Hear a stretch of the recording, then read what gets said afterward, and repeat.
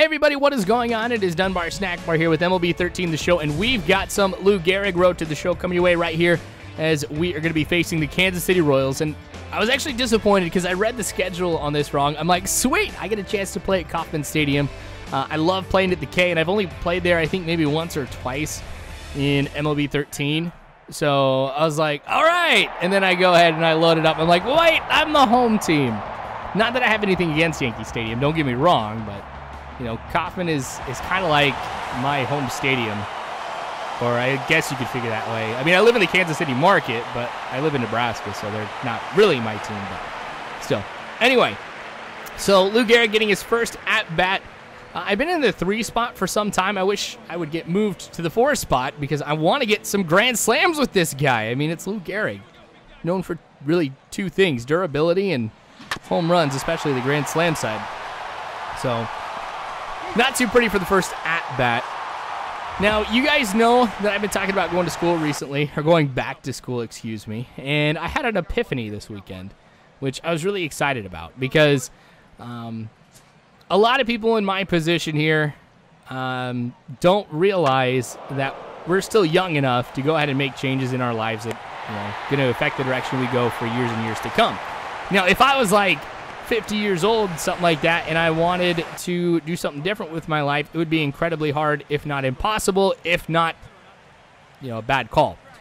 So um, I did make the decision on what I'm going to be going back to school for and what I want to do.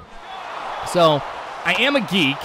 You guys kind of know that here, but um, I love working with with computers, technology, just stuff like that. I mean, that's been my thing for for a while. But when I was growing up, I didn't know of too many opportunities to be able to be a geek and you know kind of work with stuff because like computer programming wasn't anything that was taught in in high school or anything like that.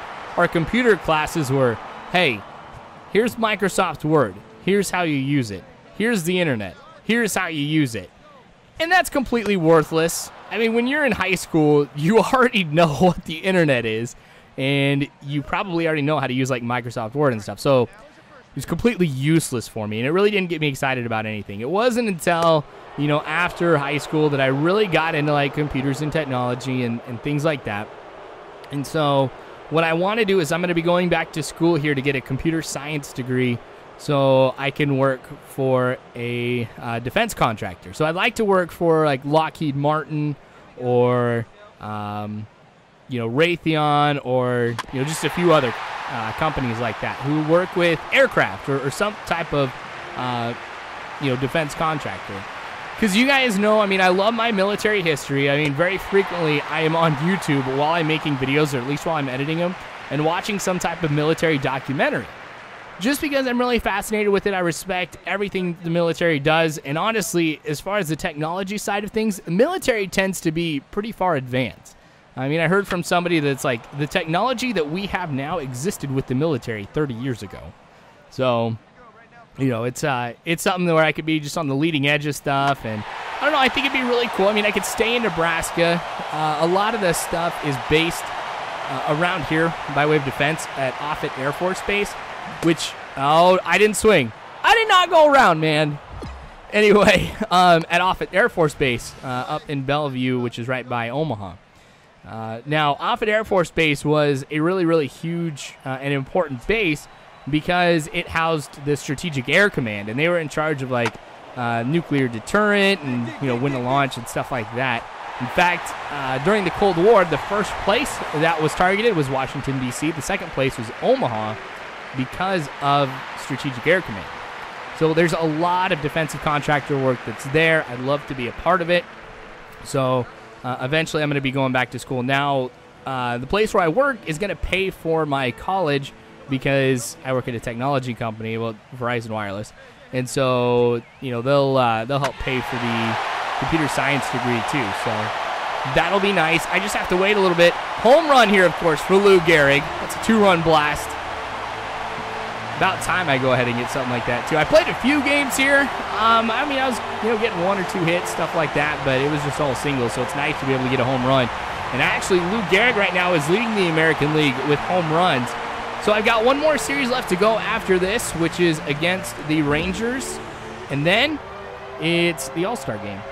And Lou Gehrig definitely in uh, is the front runner right now for first base in the American League, which is great in his rookie season. Plus, we'll have the home run derby.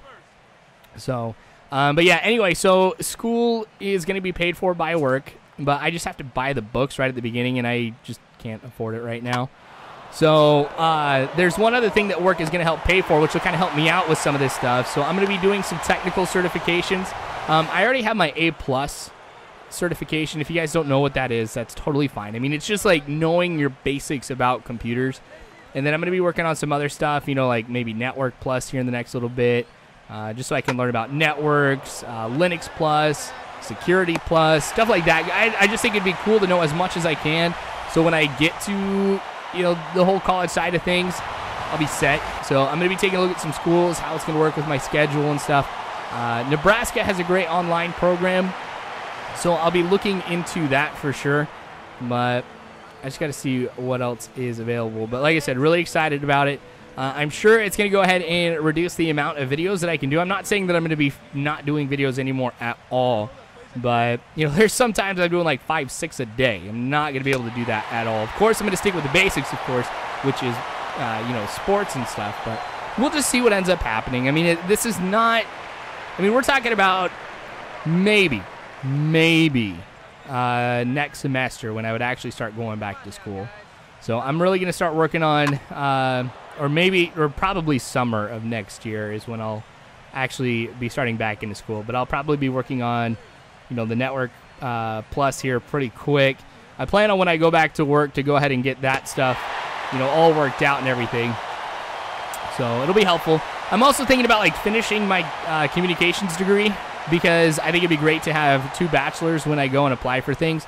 Just because a, communications degree, of course, looks good as uh, a geek. Because no offense to anybody, like at all, but there's a lot of companies that when they you know go hire people for you know technology positions or you know something that's going to require a lot of technological know-how, uh, they tend to think and in you know to some degree this is actually kind of true, but um, the social aspect is not the greatest with some of these people. Okay, so. Um, depending on the person that you talk to, that's the case. But that kind of holds true anywhere. So I've been hearing from a lot of people if you get your communications degree and then get a computer science degree, they're also going to look at you a lot better because it's like this guy knows how to communicate with an organization. He knows how to work as a team. And some people have been saying like, if I choose to be like a, a business analyst or something like that, I basically write my own check because like what a business analyst does is they sit down with the business and they're like, all right, so what do you need? to be able to do your job. And so then they'll go ahead and explain, you know, like I would need an application that does this or you know, some type of code that will allow us to do this. And then uh, the business analyst, so like what I would do, would go ahead and turn around and be like, all right, IT guys, this is what they need. And, you know, you basically translate between the two different languages, like a business language and then also with, you know, the technical side. So that would be kind of cool too. But I, like I said, I want to work for a defense contractor. So I'm going to be going to school for that. Uh, I know you guys have been absolutely supportive of me kind of going back to school already in the times that I've mentioned it and stuff, but it's cool now having a goal, like having an aim on where I want to go with things. So I'll keep you guys in the loop about this type of stuff here because I don't want it to be like, oh wow, Dunbar's only posting like two videos a day or you know or something like that. You know what what's going on? I mean, you guys are gonna know. So you guys are a big part of what I do day in and day out anyway. And it may not seem like that because I know you guys just go through, uh, pass ball you guys just go ahead and watch my channel, and you know that that may be the end of it. But trust me, you guys are a big part of what I do every single day. I mean, I, I think about my channel pretty often, so uh, I, I don't want to keep you guys out of the loop on this type of stuff. All right, six to four. Kansas City's on top. Another pass ball. Yes, yes. No, no. What was that? Okay, you have to take a look at this again because this is crazy. And it's how it's just ridiculously convenient for the computer. All right, totally away from the catcher, bounces up right into the glove, and just an easy throw home for Crow to apply the tag. How often does that happen? Just goes right into the catcher's glove. So, not cool. Anyway, Appreciate you guys watching this. Uh, more of Lou Gehrig to come. Like I said, we've only got a few more games until we reach the All Star game. And we've got the Home Run Derby, which is going to be sweet. I hope I destroy everybody in that one. So, anyway, you guys are awesome. You really are. Thanks again for watching. And as always, I hope you guys have a good one.